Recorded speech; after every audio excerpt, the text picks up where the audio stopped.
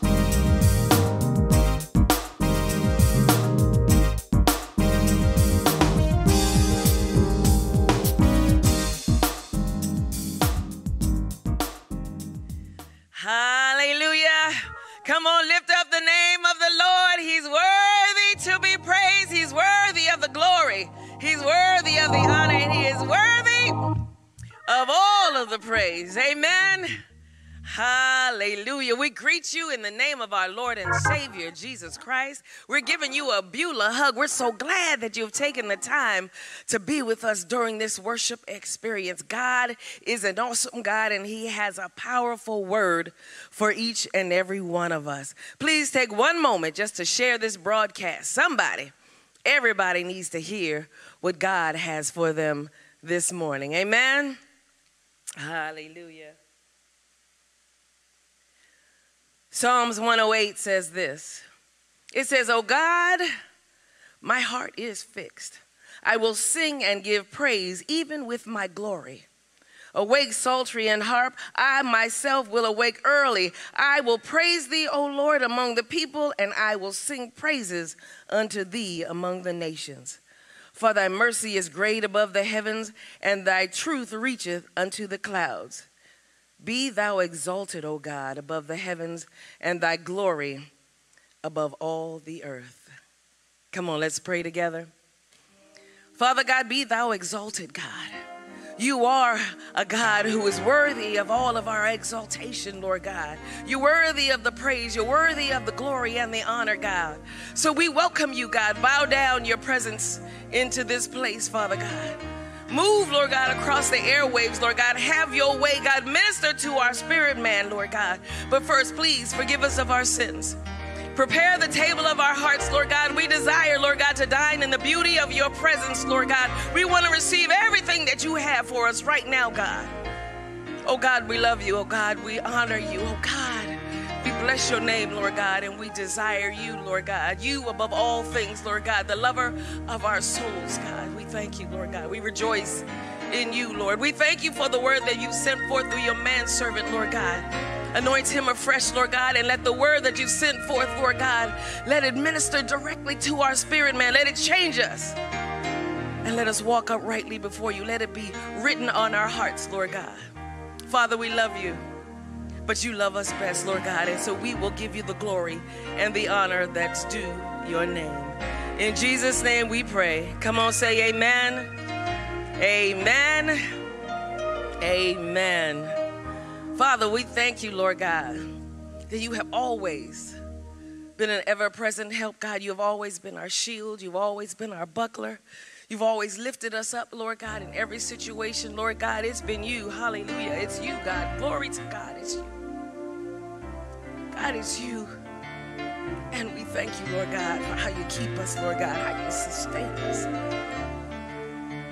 You never let us go, Lord God. We thank you for your shield and your protection.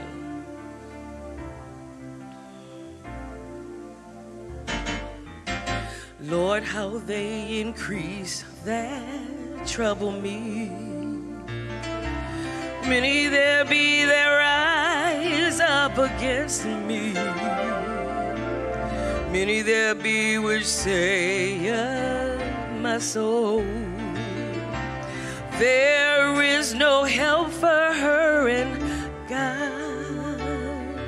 But thou, O Lord, art a shield for me. My glory, you lift my head.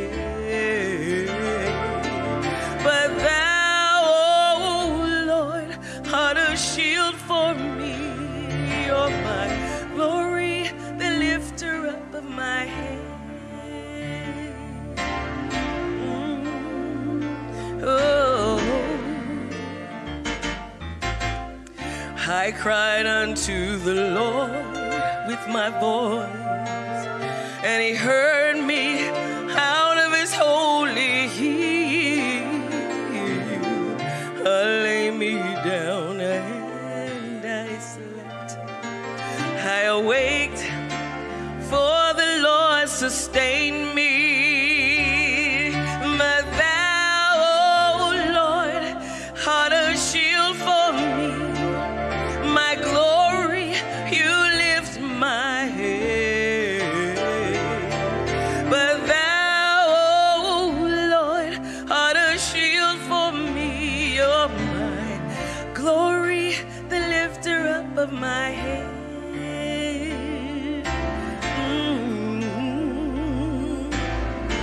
Strong in the Lord. Listen.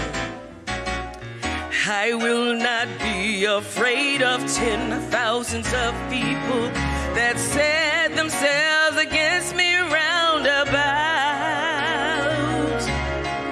I will not be afraid of ten thousands of people that set themselves against me round about.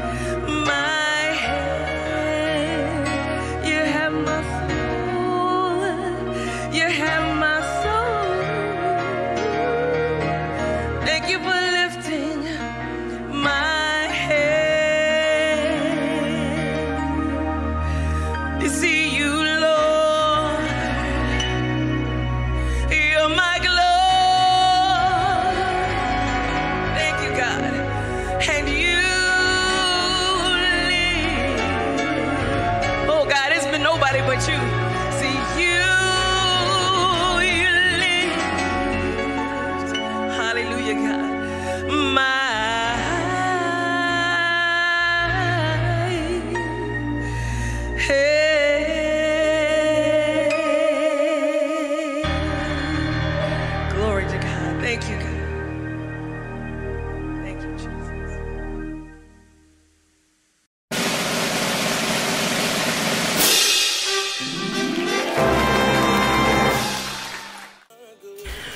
Are on our way to Freedom Plaza and we are so excited to be a part of this event. It means so much to us.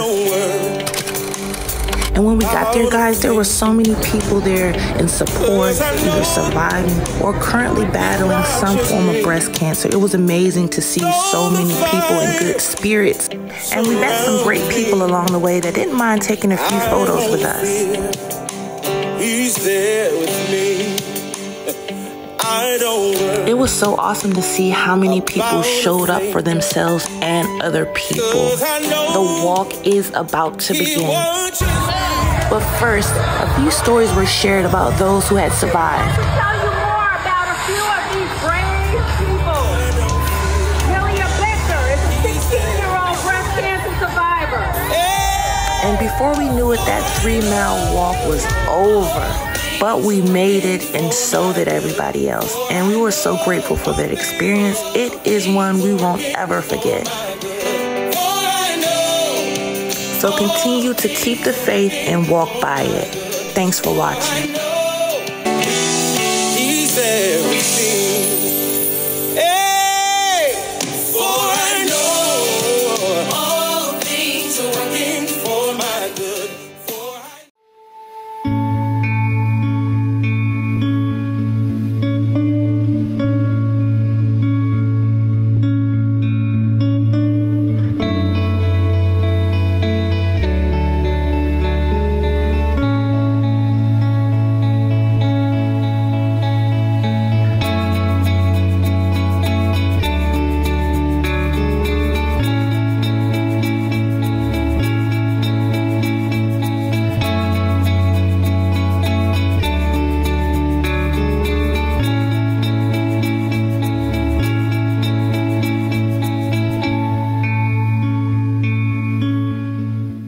Afternoon, everyone. My name is Ann Hunter, and I'm an eight-year breast cancer survivor.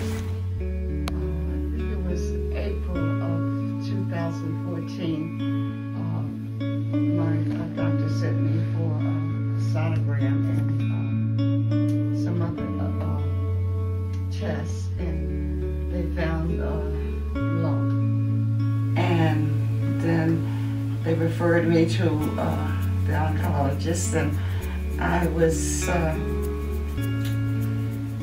diagnosed with low grade uh, breast cancer.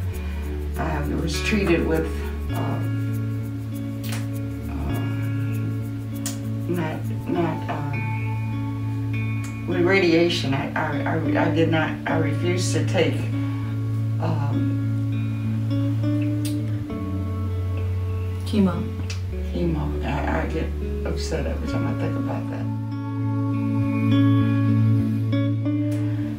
Refused to take chemo because I saw how it had affected my husband. And then my daughter, uh, Marianne, was diagnosed with uh, breast cancer in 2001 and she is still struggling with it. The last uh, chemo they gave her four years ago caused her to lose her sight and her hearing.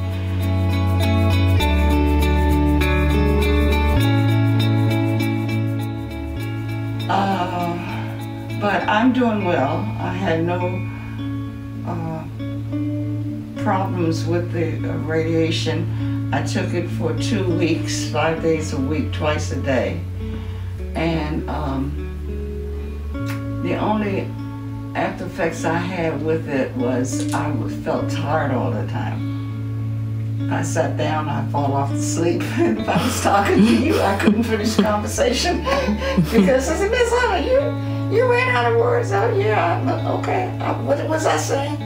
And but I am truly blessed and honored and favored because God has blessed me to be well enough to be a caregiver for my daughter. Uh, she has struggled so much, but God has kept me here for 88 years. I'll be 89 in December to take care of her. And I just thankful and praise God every breath I take. I just praise and honor Him because it ha- didn't have to be, you know. I live a- a- alone personally, but I know God is here with me. And uh, I'm able to take care of myself. I don't need uh, anyone to come in and do anything. Although my sons, they keep the house clean and all like that. And so I'm just truly, I'm just truly blessed and honored. And I have so many wonderful, wonderful friends that's always in touch and calling and coming by and bringing me things. And so, and today we are honoring my oldest son's birthday. His birthday was Wednesday, the uh, 19th of October. He was 70 years old, and it was truly a blessing to think that I lived long enough to see my son become 70 years old. So we're having a celebration for him this, evening. So give Miss Hunter microphone. She'll talk forever. So I guess. You're fine. I have a question for you though. If you had to give any type of words of advice to somebody who is currently experiencing breast cancer, what would be any type of words of advice or motivation for them? First of all, I would make sure I had the right doctors and not give into it, you know, because I have a saying that I always say that when they diagnose me for uh, diabetes, Miss Hunter, you have diabetes. I said, diabetes may have me, but I may have diabetes, but diabetes doesn't have me. And you have to have a positive outlook on things. Don't think of this as a death sentence or, oh my, you know, what am I going to do? Just think constantly, trust in the Lord, give it to Him. Because I don't care how many treatments you get, uh, what other people do, only God has the final say so, you know? So I would say just keep pressing on and trusting and believing and always say, this too shall pass. Because He already knows what the end will be, you know? So. Amen. Any other questions, Bert? Good. I think we are good. I just appreciate you sharing your story with us. Yes. time for us. We thank you for graciously telling your story. We love you and we thank God for you and thank Well, you. I thank God for all of you and I love all of you.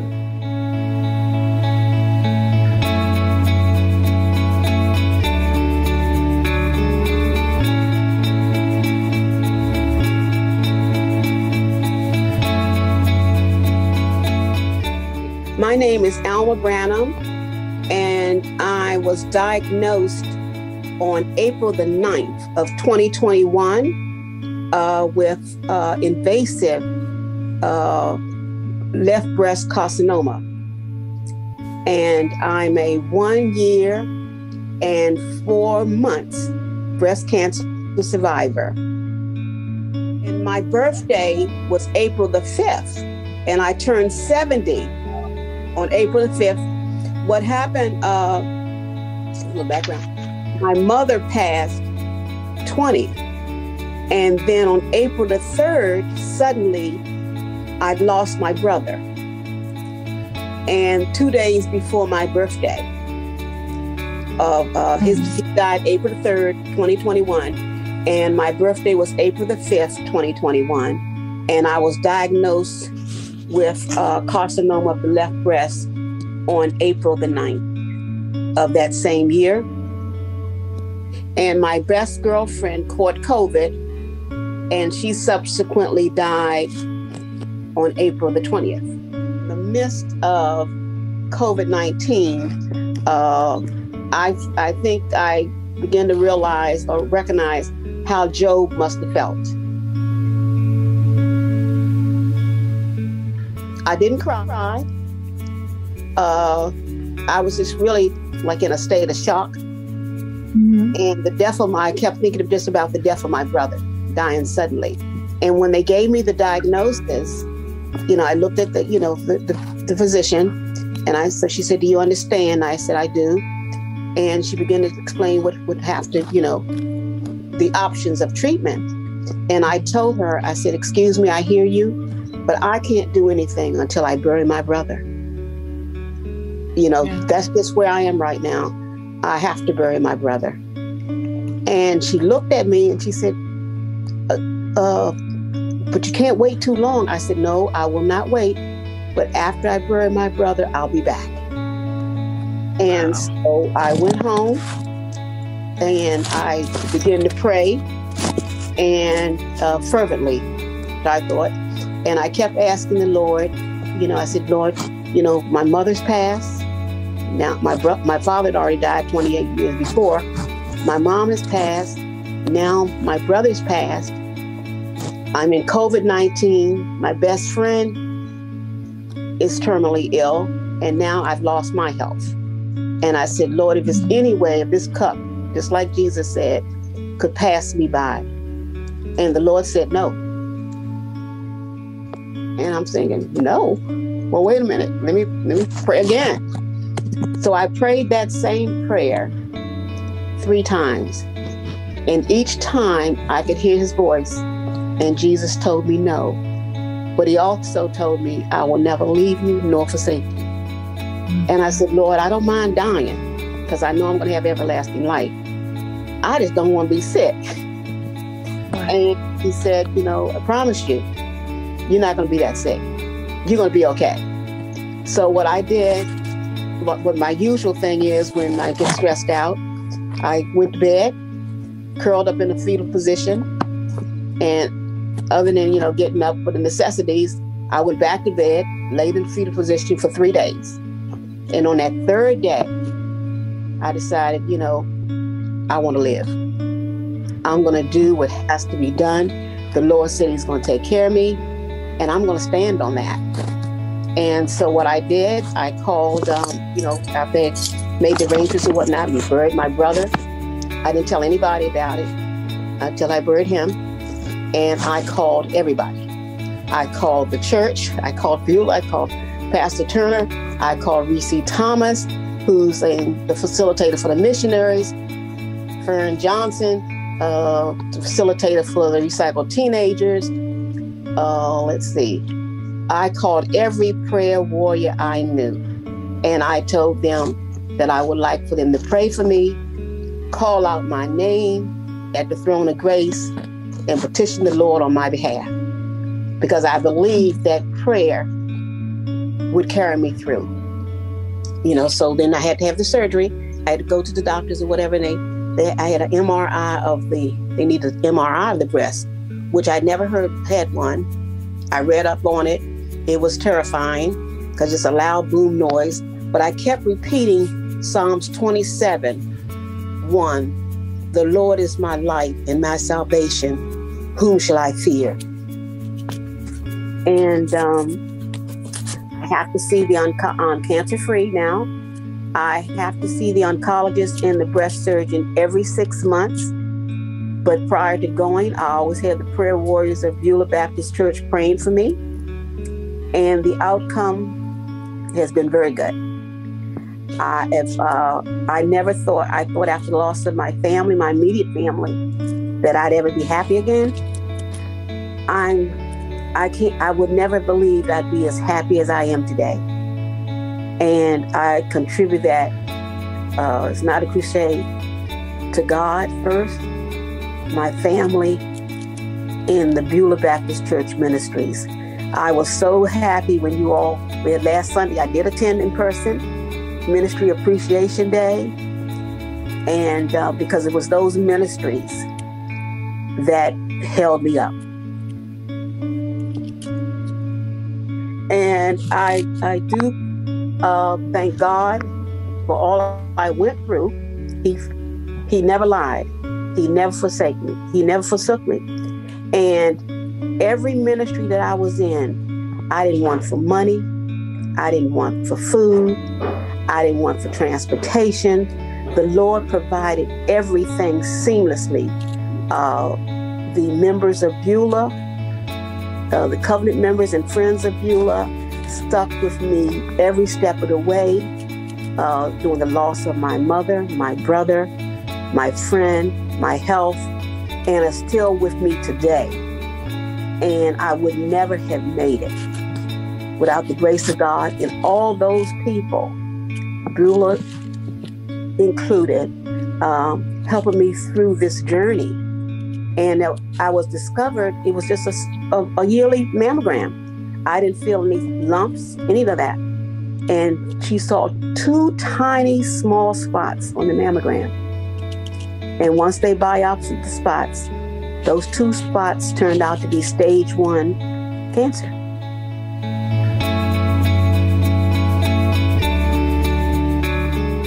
I, I, I even give myself, okay, look, you can be down today, but tomorrow you're up, girl. Focus on your faith and the fight that you have to go through and not that fear. Because that fear will stop you in your tracks. You won't do anything. I believe that because of times when I just focus on my problems or my circumstance, you know, I can, you know, get kind of down and depressed and you, you, you won't move forward. But if you start helping or encouraging somebody else, that encourages you. And someone sent me a song, I forgot the name of the artist, but it was a uh, Never Will I Be Defeated. And I play that over and over. And even now, sometimes you may get a little down or sad, you know, about your losses. And then I say, look, I play those songs and I think about what I've gained. I always felt I was one of these people. I always felt I was in control, and that was an illusion. But I didn't find out that was really an illusion until after my breast cancer journey. I never was in control. God was always in control, and since um, you know, sometimes I, I would come to church and I would come to Bible study, hit and missing, depending on my work schedule. I'd be in some of our class, Bible Institute, some of the classes. But, you know, I think I used to play like lip service where, you know, the Lord will never leave me nor forsake me. Now I know that is true because I have witnessed it, I've experienced it. And now every text message or chat group that I'm on, I always give a word from the Lord because that's the thing that's that's the only thing that will sustain us and um, you know like and if I say I see a change in you you know I always thought I was a good person but I really wasn't all that like I thought I was. And the more I studied the word I realized you know doing this whole journey uh, the Lord kind of set me down. I had time to study the word because I wasn't going anywhere. And and now that I, the more I study His Word, the more I trust Him, and I feel like David. I fought the lion and the bear, so I can do anything with God. Is that enough? um, we appreciate you. We thank you for your time, just being a part, and just even being open to be recorded, um, trusting us with your story. I want to thank you in reference to just making time for us. Yeah, and I, I appreciate it, and I'm so grateful that uh, the two of you asked me. So my son said, Well, what are you going to do? I said, I'm going to tell my story. The sun is coming up in the morning and the moon is coming up at night, and we have a choice whether or not we're going to participate. You accept God, you are in full control of my life. God, you told me that all things work together for my good.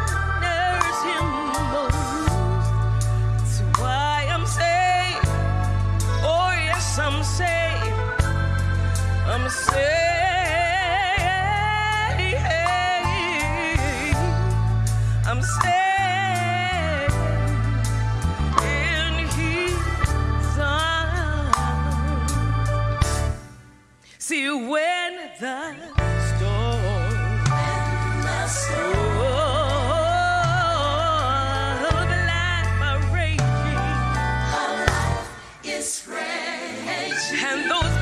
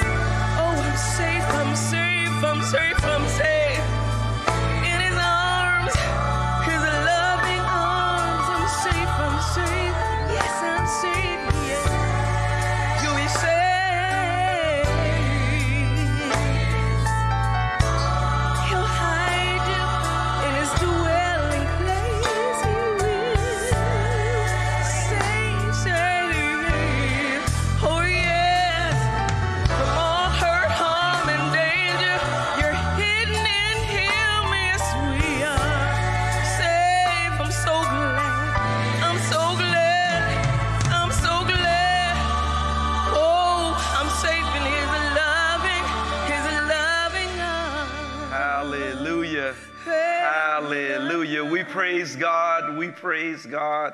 We praise God for today. This is the day the Lord has made, and we ought to rejoice and be glad in it. I was glad when they said unto me, Let us go into the house of the Lord. To those of you who are watching on our website and other social media platforms, I pray that you have been blessed thus far by the broadcast. Turn with me to 2 Kings chapter 20. In those days, Hezekiah was sick and near death, and Isaiah the prophet the son of Amos went to him and said to him, Thus says the Lord, set your house in order, for you shall die and not live. Then he turned his face toward the wall and prayed to the Lord, saying, Remember now, O Lord, I pray, how I have walked before you in truth and with a loyal heart, and have done what was good in your sight. And Hezekiah wept bitterly. May God add a blessing to his already blessed word. Amen. Let us pray. Thou wise eternal Father, we thank you. We thank you for this day. We thank you for this moment. Lord, I thank you for another preaching and teaching opportunity. So, Lord, I need you to remove me from self and fill me with your spirit. Give me the words to say and the things to do. Lord, I pray that you would allow me to decrease so that you might increase. Forgive me of my sins, Lord. Look beyond my faults and see this, your people's need. Lord, we thank you for today. We thank you for your goodness. We thank you for your mercy. We thank you, Lord, for survival. So, Lord, we'll be so careful to give your name the honor and the glory. In Jesus' name, let the church of the Lord say, Amen. Hallelujah. To God's name be the glory. Beulah, this year we're living, and we're living soberly righteously and godly in this present world. And if you're going to do that, you must be living in the face of bad news. You have to learn how to live in the face of bad news. Let me say it one more time for the Holy Ghost. You must learn how to live in the face of bad news. That's not the time for you to fall out. That's not the time for you to give up. That's not the time for you to turn around and quit. That's the time for you to live instead of dying. Bad news, we all know what bad news is. No doubt all of us at one time or another have received some bad news. Bad news is unwelcome news. Bad news is disappointing news. Bad news is unexpected news. Bad news is devastating news. Bad news is troublesome news. And you know, it's funny because the newspaper and the television broadcasts are all filled with what? Bad news. All you hear is about disaster, corruption, and incompetence.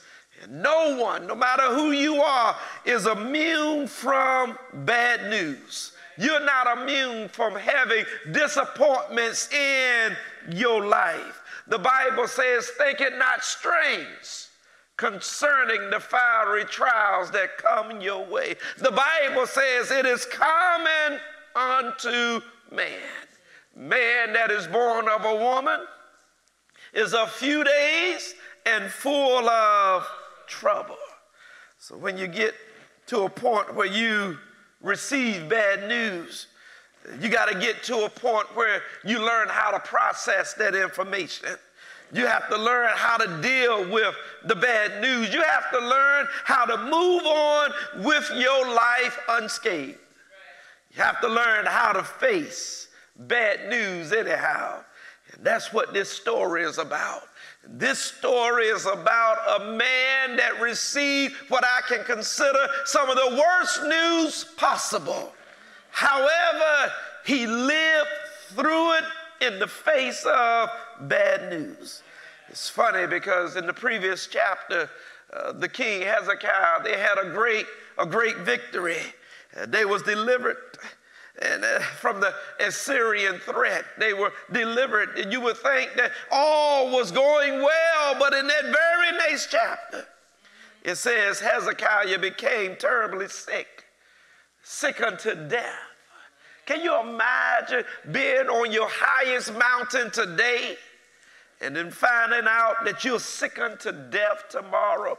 Can you imagine celebrating your, your 20th, your 30th, your 50th, your 60th wedding anniversary and then finding out that you're sick unto death? Can you imagine going through life thinking you just celebrated the greatest victory, only the next moment to receive what one would consider the greatest defeat?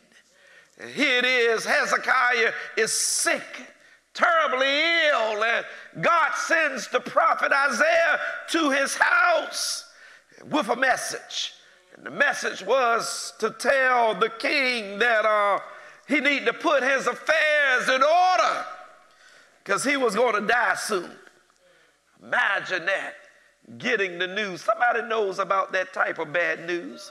Somebody knows about that type of hurt when you get the news that the very child that you've been carrying is not going to live.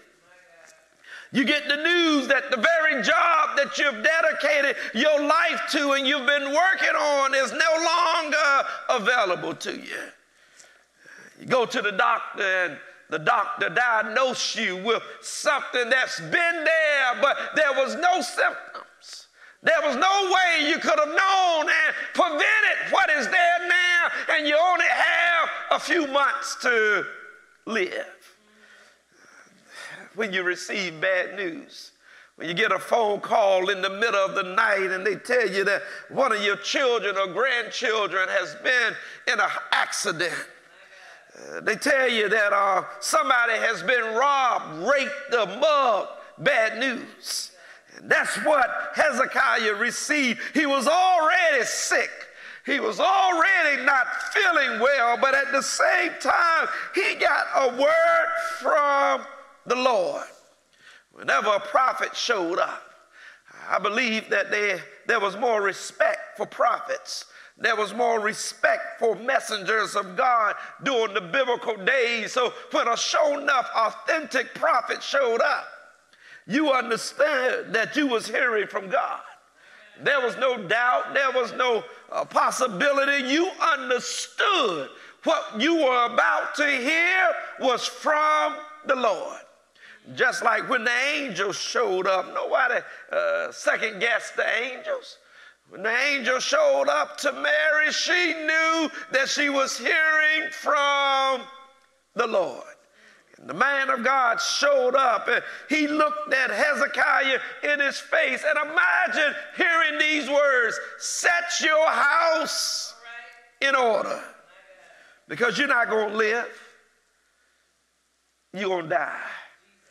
Devastating news, disappointing news. And I tell you, it's something that we all can relate to.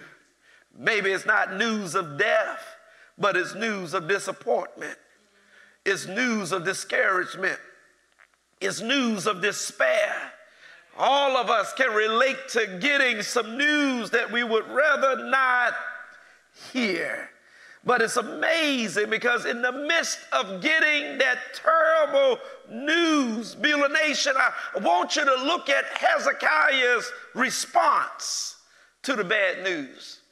When I read the first three verses, I could have read several other verses that talks about his healing and other things, but it's in these three verses that blew me away. It's, it's his response, it's his, uh, the way he reacts to the bad news that catches my attention. Uh, because when you look in the Word of God, Romans 15 4 says that everything that was written aforetime was written for our learning was written so that we might have hope. And it's here that if you look at this text and see the way Hezekiah responded and how God responded to his response, that ought to give you hope. God was pleased at the way Hezekiah responded.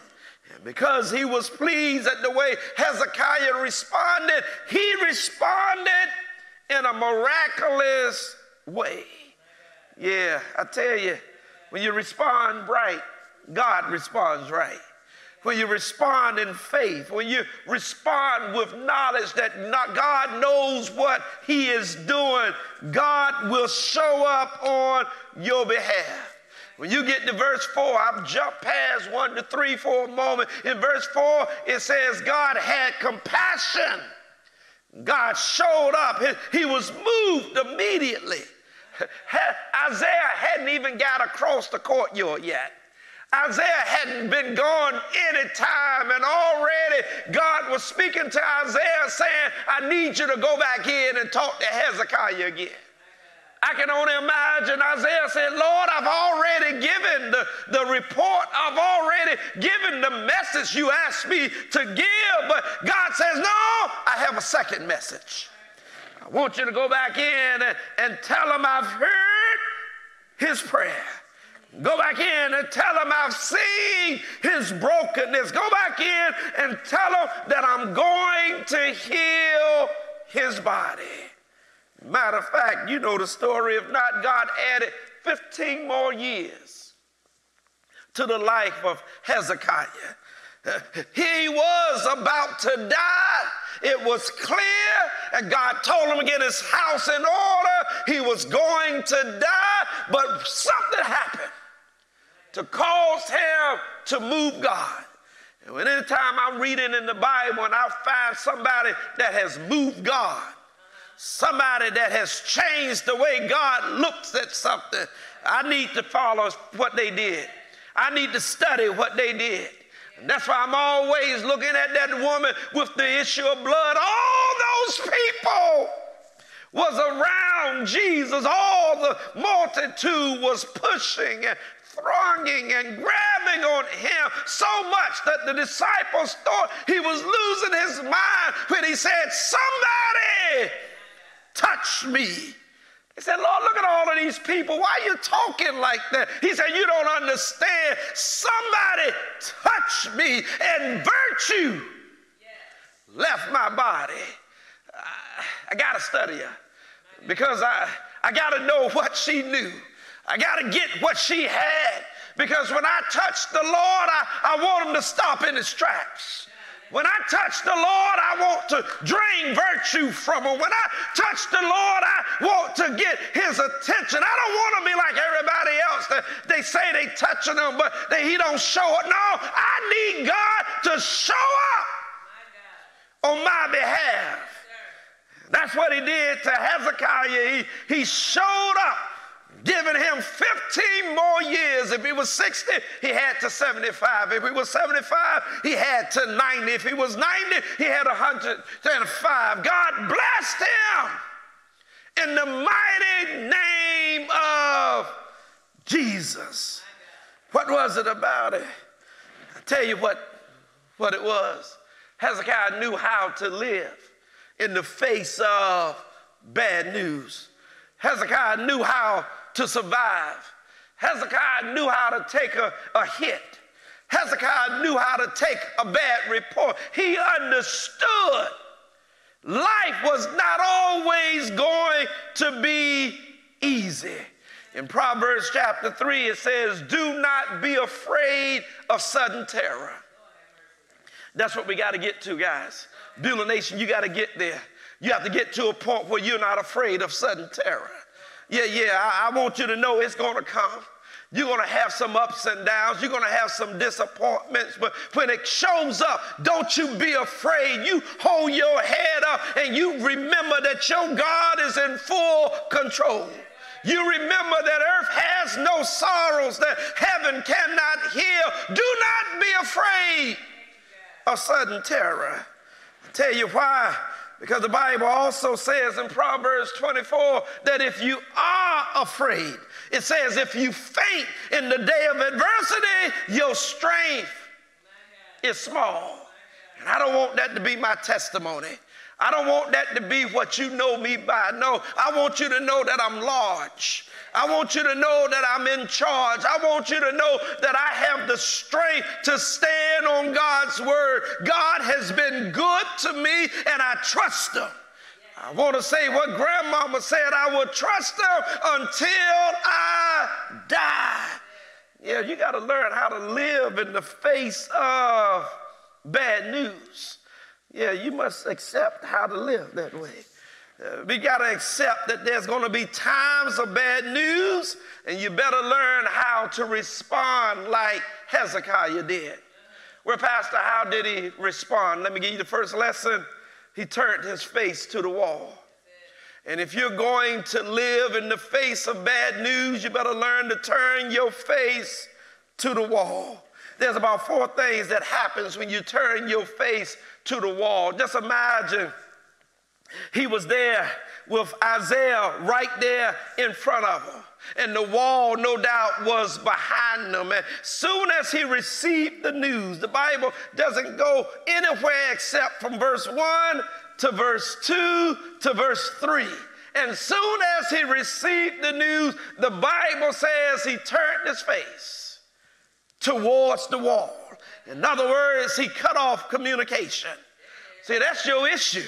You got to talk to everybody. You got to stay on the phone. You have to be in conversation with family members and friends.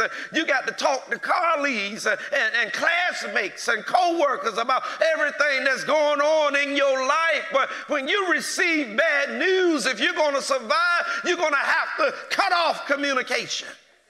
Yeah, yeah, that's why when I go on my sabbaticals and when I go places, I, I leave my phone at the house.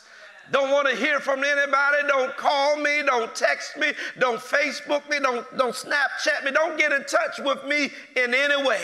I do not want to hear from you because when I turn my face to the wall, I got to cut off everything because I need some me time. You see, so many of us, we're so scared of me time, one, because I guess you're scared of what God may say to you when He gets you alone, or maybe you're so lonely and so, you know, your self esteem is not there. You can't handle being by yourself. You always feel like since you had somebody with you, you can't tolerate yourself. You better learn how to have some me time. The Bible says Isaiah was literally standing there and he turned his face to the wall. Hezekiah looked the opposite way and he cut off communication. Isaiah, you've said, this is what he said by turning.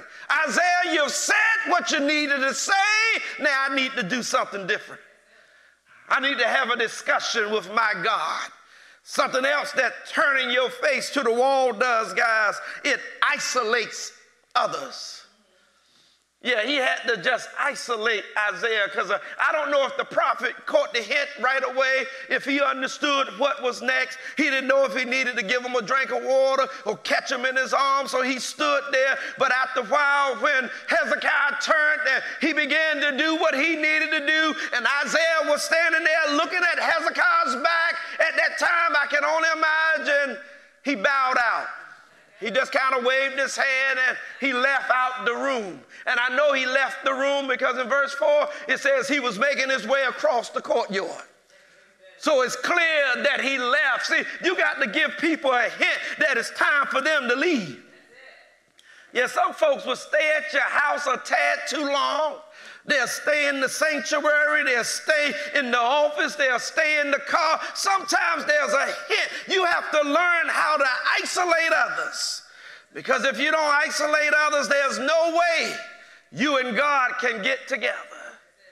Sometimes when you turn your face to the wall, another thing I believe that it shows, he wanted to hide his emotion. He wanted to kind of just deal with God himself. And it's so important that you got to say, what you mean by hide your emotions? See, most of us, we wear our emotions and our feelings on our sleeves. We want everybody to know we're sad. We want everybody to know we're broken, we're busted, we're disgusted, we're hurt.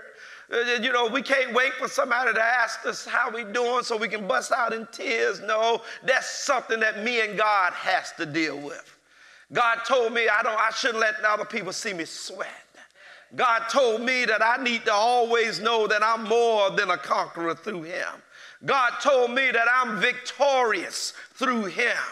Yeah, yeah, I don't have time to show my emotions. What he did was, as he was talking and Isaiah gave his prophecy, Hezekiah turned his face.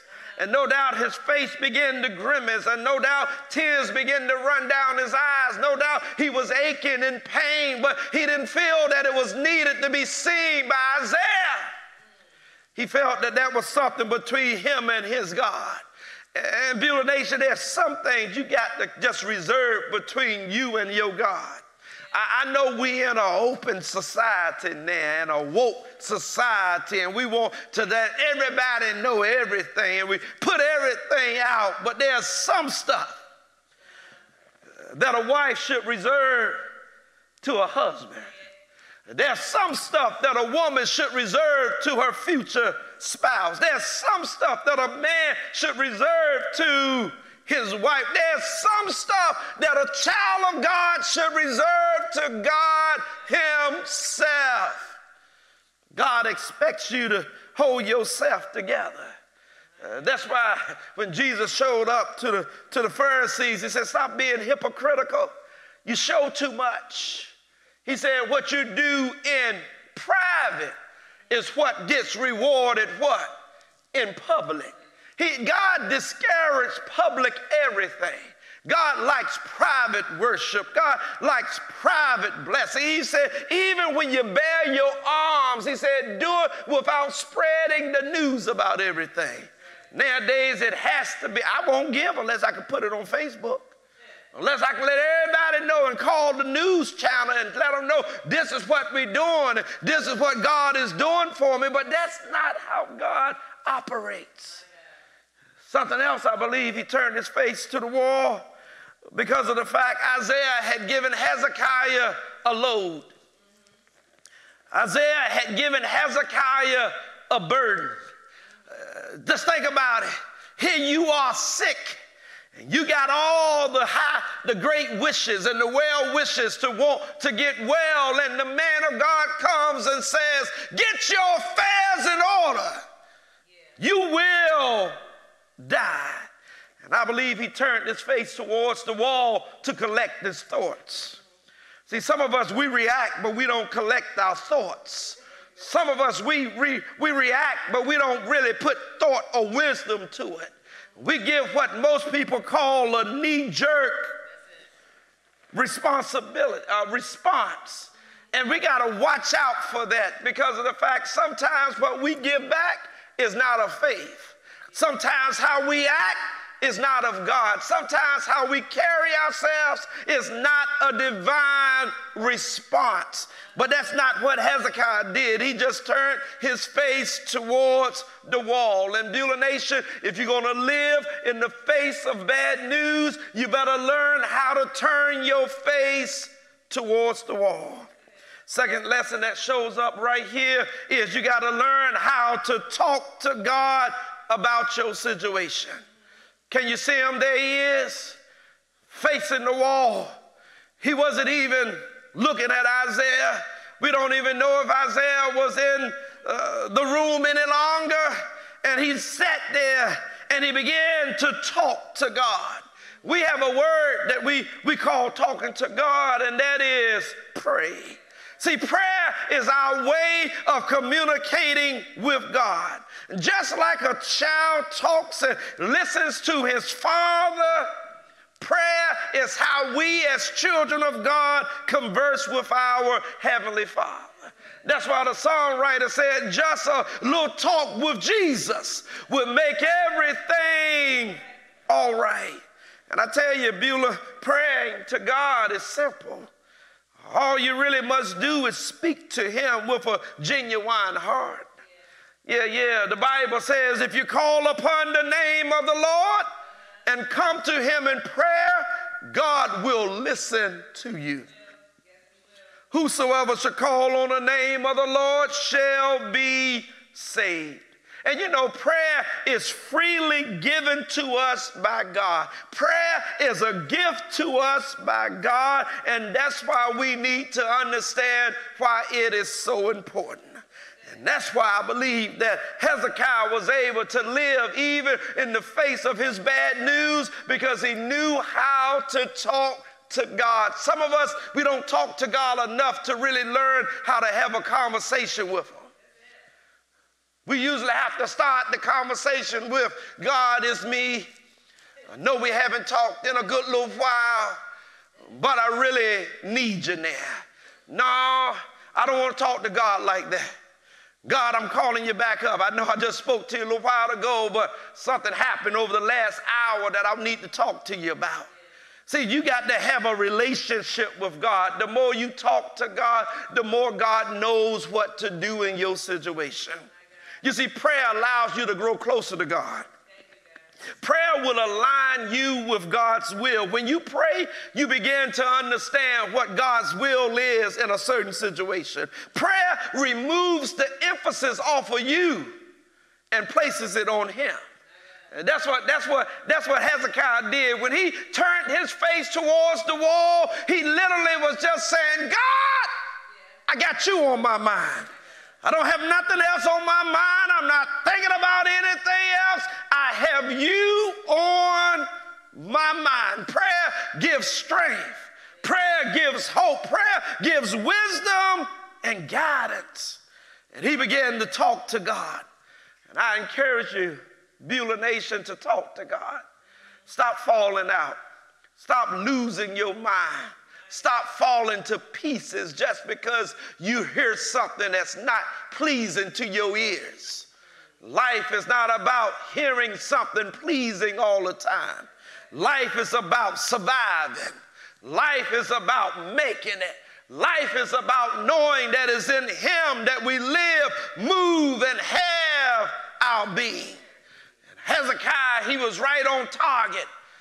First of all, he turned his face towards the wall and then he began to talk to God. He began to share with God what was on his mind. And I believe that that's what we have to do learn how to share with God. Lesson number three put God in remembrance of his word. Yeah, one of the greatest components of Hezekiah's prayer was reminding God of some things. And see, let me, let me tell you, there's two parts to this. Because I'm about to tell you what he put God in remembrance of. But before you can put God in remembrance of something, you have to be true to what you're about to say. Yeah, yeah, you know, he talked about his behavior, he talked about his heart, and he talked about his walk. Now, if your behavior ain't worth nothing, and your heart is insincere, and if your walk is not even worth talking about, then you don't need to put God in remembrance of anything. See, you have to make sure that your life is being lived and you are sowing what you need to sow so when harvest comes, you can reap the harvest. And see, Hezekiah understood what he had sowed. Do you know what you're sowing? Do you really know what you're sowing? I know many of us, we have lied to so many people, even to ourselves, we have started to believe it. But do you know what you are sowing? Hezekiah knew what he was sowing, so when he turned his face towards the wall and he began to talk to God, he put God in remembrance. Listen to what he says. Listen to what he says. He said, God, let me put you in remembrance of some stuff. Let me talk to you. And I'm going to tell you why you have to put God in remembrance. Because God has a good pleasure about you. God wants to give you anything and everything his kingdom contains. The Gospel of Luke says that. And you need to understand that prayer should be God looking down to earth and seeing a mirror reflecting his word back to him. When you pray to God, you ought to pray His word to Him and remind Him of what He has said. God, you said you'll make ways out of no way. God, you said you was a bridge over troubled water. God, you said that when my enemies come upon me to eat up my flesh, they're going to stumble and fall. See, see, in Isaiah chapter 43, it says something. What did it say? God says this listen, put me in remembrance of what I said. That's what God said. God tells us to put him in remembrance of what he said. See, prayer shouldn't be about just reminding God of our problems. That's what we do. We just we talk to God and we just go down every problem and we complain the same way we talk to, to folks. But no, don't remind God of your problems. Remind the Lord of who He is and what He has declared to you. Remind him of his word. Oh, I tell you, man, we need to get to a point where we stop praying about the problem and we pray about the solution. And the Word of God is the solution to whatever it is we could be going through at this time. Whatever it is you went through yesterday, whatever it is you're going to go through tomorrow, the Word of God is your solution.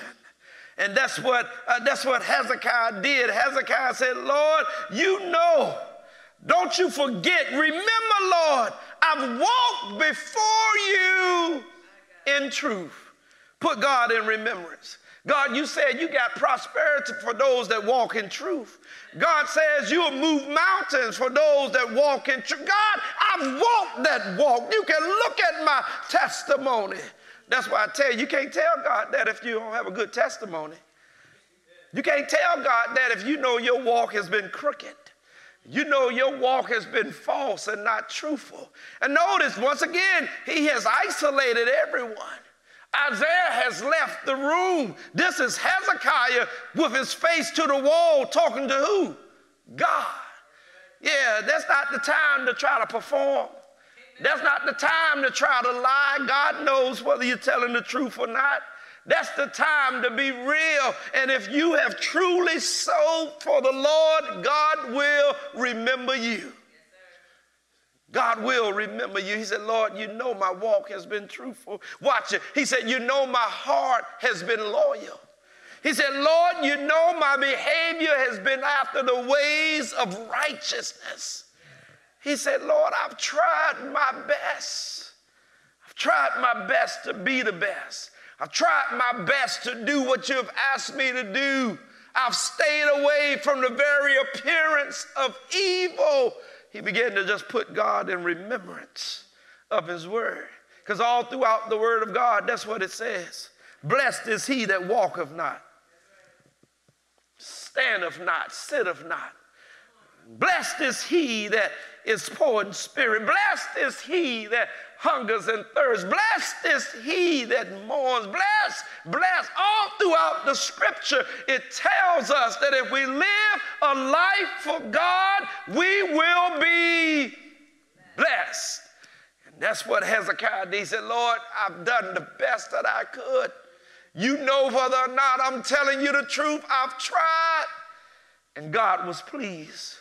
Let me give you this last lesson, guys.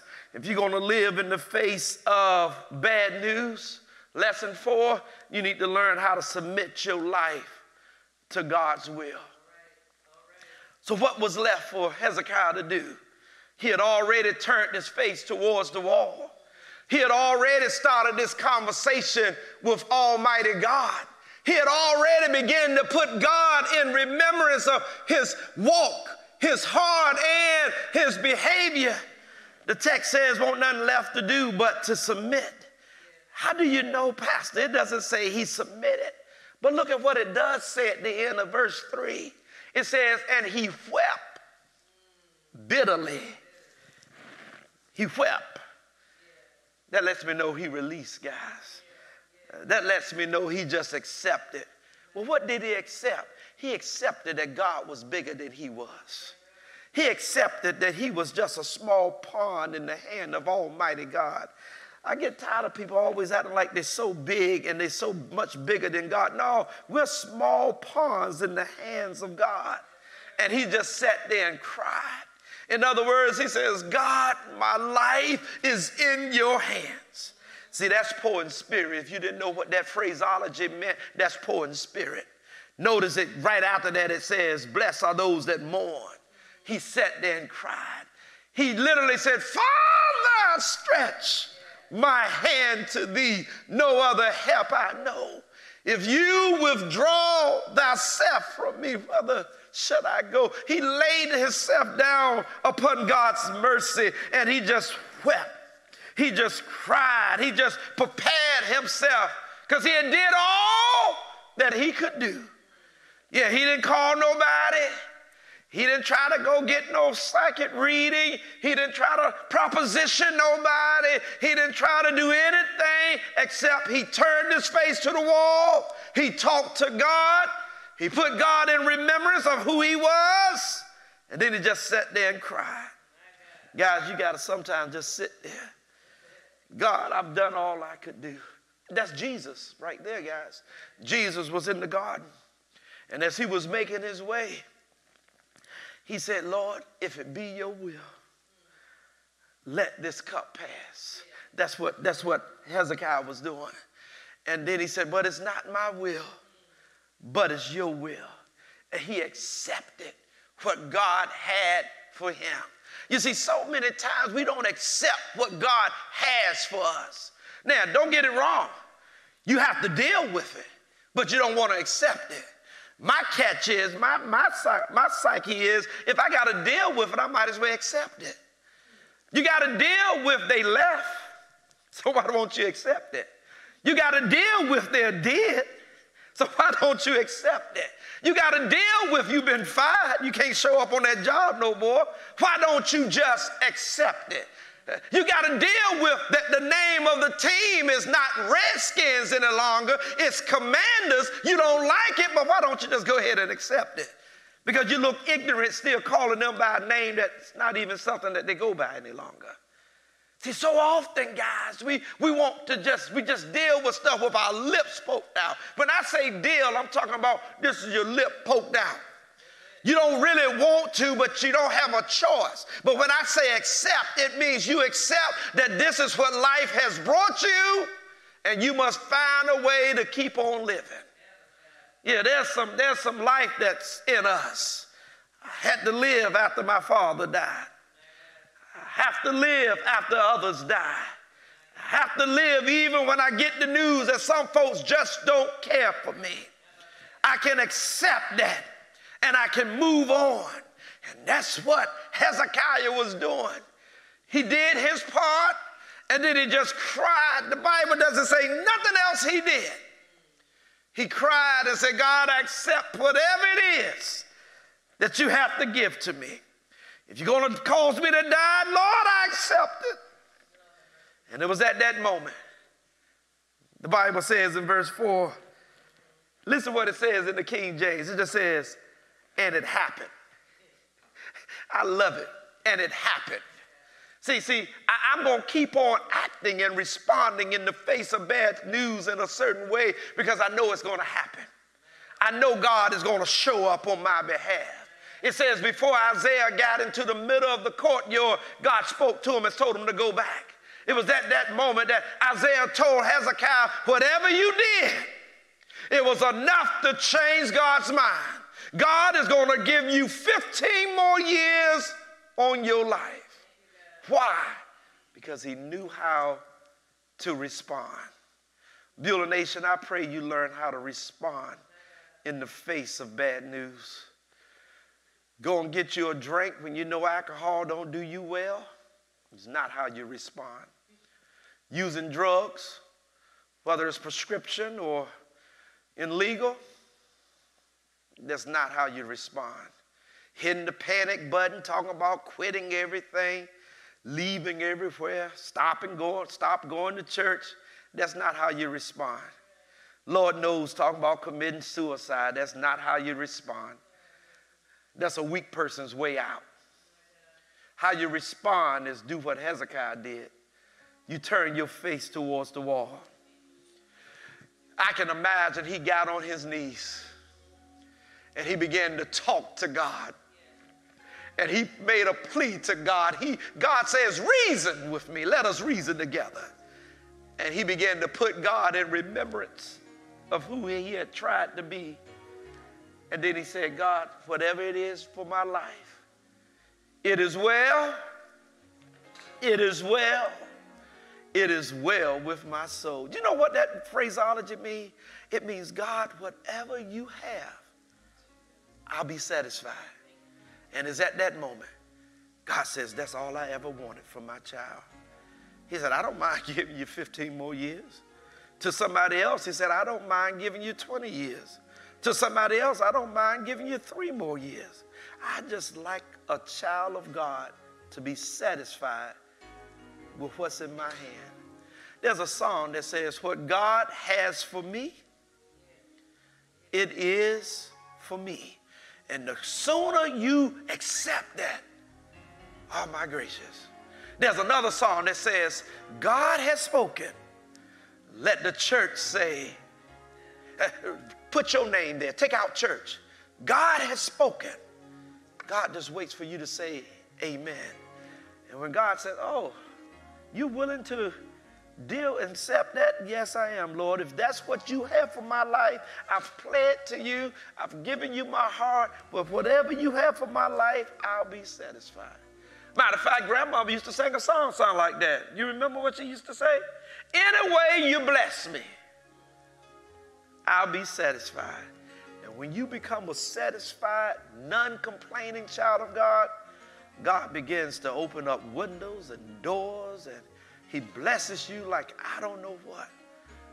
But if everything about your happiness and your joy is contingent upon what you have, what's going your way, and if life seems fair to you, God can't work with that. God needs you to be sold out to Him. Amen.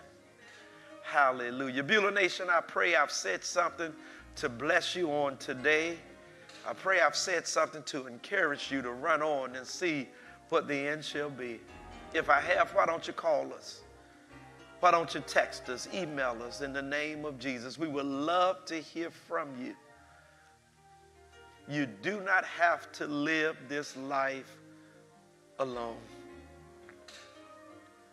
If you're watching us on our YouTube channel, why don't you subscribe? Make sure you ring the bell so every time we go live, you'll be notified.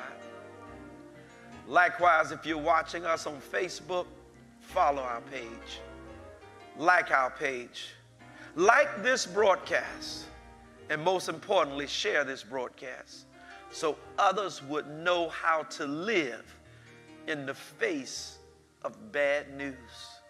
Beulah Nation, God has given you everything that pertains to life and godliness. Whether you have much, whether you have little, you have what you need to survive because God is on your side. If I've said something to bless you, why don't you consider sowing a seed into this church? There are several ways to give, and we pray that you will give. Beulah is fertile ground. Every seed you sow will bring a harvest. Hallelujah. Until next time, know that I love you and I praise God for you. Take care. Peace.